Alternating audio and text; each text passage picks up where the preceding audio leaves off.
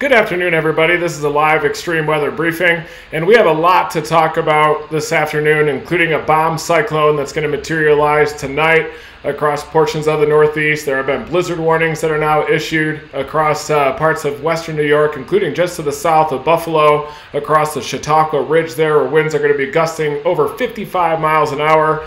Uh, snow will be measured uh, in feet, probably in excess of two feet there across western New York. The biggest totals are likely going to happen over the Tug Hill Plateau across western New York, downwind of Lake Ontario. Watertown is also include, included in that blizzard warning. And this is the responsible upper level pattern here. You can see the uh, surface low just below my head. And this is uh, from a, a trough that is going negatively tilted. So this is a 300 millibar map on the left. Uh, this is the trough axis across the Great Lakes that goes from the northwest to the southeast. That is that infamous negative tilt that we hear uh, so much, so often. And the upper level jet dynamics uh, downstream of that negative tilted trough are going to contribute to the rapid deepening of this bomb cyclone, uh, dropping well in excess of 12 millibars. In fact, uh, 24 millibars over a 24 hour period. And um, downstream at 300 millibars, when you get a negatively tilted trough like this, you get uh, what's known as diffluence at 300 millibars. That creates uh, a vacuum cleaner effect uh, underneath it, and that leads to the rapid deepening of that surface low. Surface pressures uh, fall rapidly uh, beneath uh, that diffluence aloft and that's going to lead to the rapid deepening of that surface low beneath that. And you also have a jet streak here at 300 millibars. So you have an ageostrophic wind uh, component that is directed uh, from left to right in that type of a configuration when you're slowing down in the U direction uh, and you rotate that axis so it is parallel to the jet streak, that creates a left to right uh, oriented ageostrophic wind component and that enhances the diffluence even more just in the left exit region of that jet streak. And beneath that, that's where there's going to be rapid deepening of a surface low. And this is in the GFS. And tonight, by about midnight, it already has the surface low down to 993 millibars. And that's going to further deepen uh, as that, that low becomes vertically stacked over the eastern Great Lakes. The winds on the backside of that system are going to be very cold, very strong, gusting over 55 miles an hour, picking up some moisture over the Great Lakes, Lake Ontario and Lake Erie. And there's also going to be some orographic enhancement along the Chautauqua Ridge uh, there in western New York, just to the south and southwest of Buffalo. And of course, the Tug Hill Plateau, which is one of the snowiest places in the world is really going to get hammered by this storm system, likely two to four feet of snow accumulation from this thing. And here are those blizzard warnings that are in effect for this bomb cyclone. I'm going to break down the models, uh, the time series, of this uh, bomb cyclone happening and we'll show you that low deepening tonight through tomorrow. But this these are the blizzard warning areas here in red downwind of lake ontario and along the chautauqua ridge to the south of buffalo. That includes the jamestown area as well. I've chased lake effect along the chautauqua ridge many times and they absolutely get blasted by lake effect when you get those westerly northwesterly winds off of lake erie. And so far it's been such a warm winter that the lakes are largely unfrozen. There's a lot of warm water, relatively warm water, uh, still remaining open water there that's going to lead to moisture and is going to be transported downstream, enhancing those snowfall accumulations. Rochester, you're in a little bit of a dry zone right in the middle, whereas the uh, blizzard warning along the Chautauqua Ridge, that's going to pick up some moisture from Lake Huron and uh, the eastern part of Lake Erie. You do have winter storm warnings from Niagara Falls and along the, the western Lake Ontario shoreline, where you are going to get a little bit of fetch uh, from the northwesterly winds over the open waters of western Lake Ontario. And uh, a winter storm watch continues for Syracuse. I wouldn't be surprised if that's bumped up to a, a blizzard warning, for sure, a winter storm warning in that location. Now let's go back on over to the forecast models and show you how the different GFS and the European models show the evolution of the surface low. This is tonight at 7 p.m. Eastern Time. So the surface low is about 1,003 millibars there. This is the GFS forecast. We go six hours in advance. And you can see the low is already down to 993 millibars, dropping 10 millibars in a six hour period. This is at about midnight Eastern Time, centered over probably Scranton, Pennsylvania there. And the winds are really going to start ramping up across the Great Lakes. Dangerous waters over Lake Huron, Lake, uh, all of Lake Erie, even Lake Michigan is going to have monster waves. A lot of flooding, coastal flooding along the southern tip of uh, Lake Michigan there. And now let's step forward another six hours, and this is at 7 a.m. tomorrow morning. We've got a 984 millibar surface low, drops another 9 millibars by tomorrow morning. That's 19 millibars over uh, a, a 12 hour period.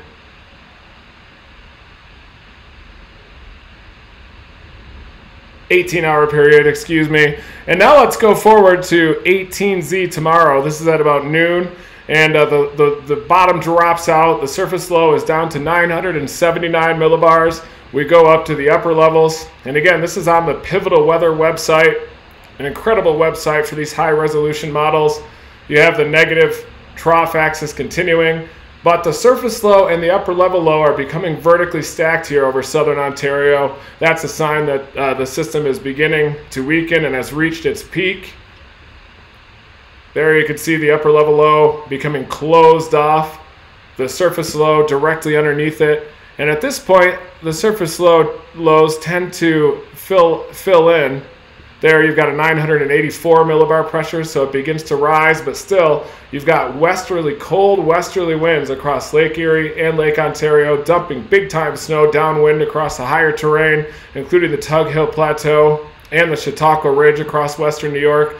And that's why that blizzard warning is going to continue until late afternoon on Friday at the very least. So this is Thursday evening tomorrow, and the blizzard is going to be raging downwind uh, south of Buffalo, especially. Buffalo, though, you're going to get hammered by one to two feet of snow, but still, that the heaviest lake effect is going to focus over the Chautauqua Ridge just to the south of town. Tug Hill Plateau, likely four feet of snow. This is a textbook lake effect pattern, except it's very late in the season, so it is quite unusual. Normally, the Great Lakes are frozen over for the most part, especially Lake Erie this time of year, which is a more shallow Great Lake. Lake Ontario is a bit deeper and remains ice free even longer. But this winter so far, since it's been so incredibly warm, the Great Lakes are mostly ice free with a lot of relatively warm water for these cold winds to pick up that moisture and deposit it in the form of intense lake effect snow and blizzard conditions. Where these isobars are closer together, that's where the stronger winds are going to happen. Generally, the winds are parallel to these lines of equal pressure isobars. Let's hop on over to the European model. Quite a bit of agreement uh, in the evolution of this bomb cyclone between the European and the GFS models. We can look now at some of those snow totals.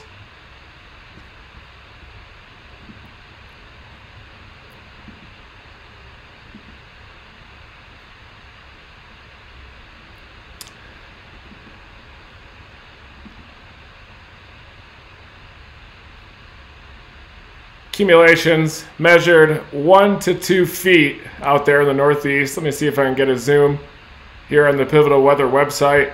You can zoom in on these different regions, a great tool. And the GFS, of course, has nearly two feet of snow across the Hill Plateau. It's probably going to be a little bit higher than that. Parts of southern Ontario really get hammered as well. Western New York, one to two feet of snow across that Chautauqua Ridge. The GFS actually had higher totals yesterday in yesterday's runs. So it has gravitated a bit back toward the European model.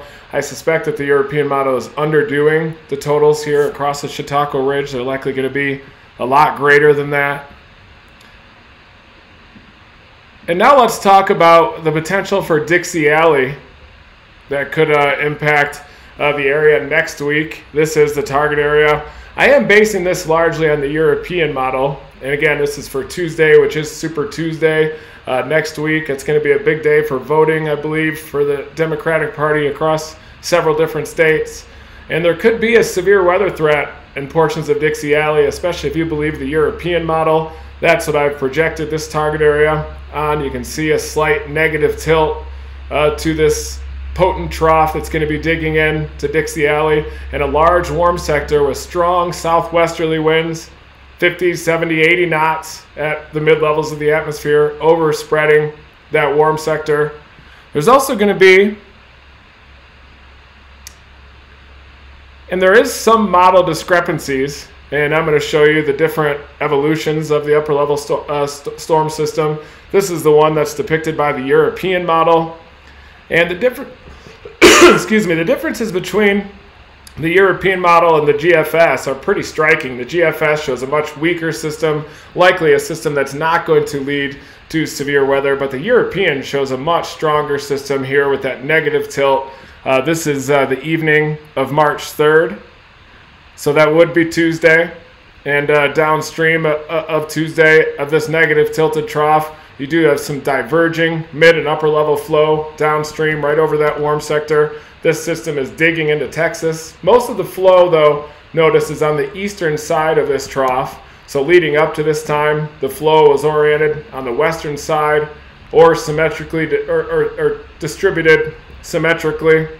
But in this case, with most of the flow on the east side of the trough, it's not digging uh, far far south anymore. So this is beginning to shear out and the GFS has a much stronger anticyclone, stronger flow with another system in the northern branch of the jet stream, and the GFS leads to a much faster shearing out of this upper level system over top this anticyclone centered over portions of the Caribbean, uh, the subtropics there down near Florida. But the European has a much stronger upper level system as depicted here and it leads to a very strong low-level jet across East Texas, Arkansas, across the lower Mississippi River Valley, dew points pumping northward uh, from the Gulf of Mexico. So if you believe the European model, which generally is a, a better performing model, then I think there is going to be a pretty widespread severe weather event with a surface low ejecting to the northeast like this uh, across Dixie Alley with a strongly sheared and uh, very unstable warm sector to the south of it. But if you believe the GFS model, then the threat for severe weather is less favorable with this setup. And I'm going to show you, I'm going to remove my head there first, show you the differences. Here's the GFS, which shows stronger flow on the backside of a, a system ejecting, or, or in the northern branch. So this you can see this stronger flow across New England that's associated with the subtle trough in the northern branch of the jet uh, across New England downstream of the Hudson Bay region. That leads to a stronger mid-level flow across the mid-Atlantic uh, as well ahead of this system. And it leads to a, a, weaker and even positively tilted trough according to the GFS. So this is a weaker upper level system. It leads to a weaker surface low, a more diffuse low level jet across Dixie Alley, pumping uh, northward, uh, more modest dew points. It has a weaker surface low as well. So if you do believe the GFS with this stronger flow downstream across New England and a flatter system that shears out a little bit more quickly over top this anticyclone, then I think that the threat of severe weather next week on Super Tuesday is less. But we're going to have to see over future model runs if the GFS trends toward the European or if the European trends toward the GFS. And that uh, will determine, or when they, these models agree, that's when the confidence will increase rapidly. And here's the 850 millibar forecast for the evening, for Tuesday evening, Super Tuesday. This is the European model. And with that stronger upper level storm system that I just showed you on the European, that leads to a really thick low level jet axis. And you've got a low-level jet in excess of 50 knots across a large portion of Dixie Alley, including Louisiana, the entire state of Mississippi, central and western Tennessee, all the way up to the Ohio River Valley. And that's what happens when you get a more intense upper level system with that negative tilt as well uh, to the uh, upper level trough axis. That uh, leads to a stronger low level jet here across Dixie Alley. And uh, this contributes to strong wind shear as well across that warm sector. And so anytime you have winds a kilometer above the ground that are in excess of 50 knots, that's going to contribute to the wind shear, wind shear that's favorable for tornadoes, but still, this is about a week out, uh, so there's going to be a lot of changes in the forecast models as we lead up to this event. But on the other hand, the GFS, with a much weaker upper level system, has a very diffuse low level jet, and in fact, it has stronger low level winds at 850 millibars across the mid Atlantic in association with that subtle system in the northern branch of the jet stream. And you have a pretty weak, uh, veered low level jet. Veered meaning more out of the southwest uh, to northeast than out of the south to north. The, the European has a more backed low level jet, which is much more north south, which increases the low level shear across the warm sector, and also the moisture pumps northward. So, really, right now, we've got one model that shows a pretty substantial severe weather event, and then we've got another model that shows a much less substantial severe weather event, and possibly even no severe weather potential. I do think that with either of these scenarios, though, there is going to be a lot of rainfall across the deep south, flooding rains, and there's already river flooding out there. Uh, and it's only going to get worse, likely through the spring, uh, with this energized subtropical jet stream and more systems coming in across the southern branch. Here are the European forecast dew points for Tuesday evening. And with that stronger low level jet, the stronger storm system, that leads to more moisture pumped northward. Look at all this moisture sitting in the Gulf of Mexico.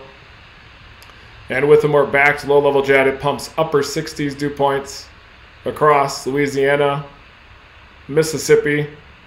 But still, if the European trends back toward the GFS model, then the threat of severe weather is going to decrease dramatically.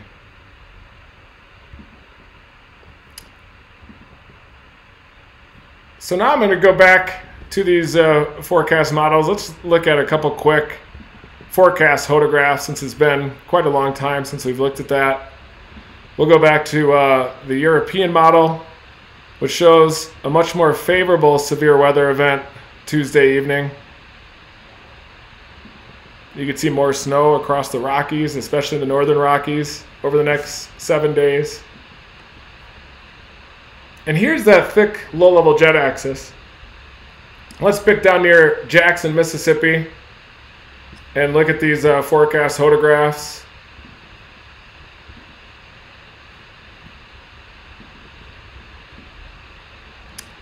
And here's the forecast hodograph out of Jackson a week out, so it's pretty reckless to be looking at these forecast hodographs, but we can do that here. You've got a low level jet a kilometer above the ground at 60 knots and relatively backed just west of due south winds, south southwest winds here, 60 knots. Surface wind less than 20 knots out of the due south. That creates nearly a 40 knot 0 to 1 kilometer shear vector. Storm motion to the northeast, rapid at 50 knots. But that creates a critical angle in excess of 50 degrees, which is quite substantial in Dixie Alley. The upper level winds here, 70 to 80 knots, that are contributing to those rapid storm motions, but also leading to favorable deep layer shear or bulk shear to evacuate the rain from those updrafts and lead to long lived mesocyclones. But really, with a big time 40 knot, 0 to 1 kilometer shear vector, like you see here, it's going to be quite a substantial severe weather event if the European model verifies. Again, looking at the GFS, you're going to see flat hodographs, uh, less moisture, and much less of a threat of severe weather, but certainly a threat of flooding rainfall. Looking at a uh, hodograph in northern Mississippi, even more favorable for tornadoes on this setup. Look at this elevated mix layer punching in at the mid levels bigger shear vector. Some of those winds even 65 knots, about a kilometer above the ground. Critical angle even higher, about 53 degrees. So the area within this hodograph right here, that's proportional to the storm relative helicity, and that's substantial with this type of a setup. But again, the GFS forecast hodographs are much less favorable. Let's now pick up a hodograph down in Louisiana. You can see a more veered low-level jet southwest of the surface low. A little bit less storm relative shear as you'd expect in the southwestern portion of that warm sector. Critical angle 39 degrees, a little bit lower. So the more favorable hodographs, not surprisingly, are in the vicinity of that stronger low-level jet. But at 18Z, that stronger low-level jet is further to the southwest across Louisiana, western Mississippi here, Look at this hodograph. This is a textbook tornado producing hodograph there with a ton of storm relative helicity between that storm motion vector and the hodograph curve. So really it depends on if the European model trends to the GFS or vice versa. Here is the GFS forecast low level jet, a lot more veered, weaker. So we pick a forecast sounding out of Jackson, marginal severe by the analogs, low level jets less than 40 knots according to this. And that's because of the shape of the upper level storm system and especially because of the upper level winds across New England and the Northeast being much stronger, leading to a more zonal flow pattern, a positively tilted trough that shears out before it even reaches Dixie Alley. And that's why the, the confidence is pretty low in this setup. But because the European is such a trusted model,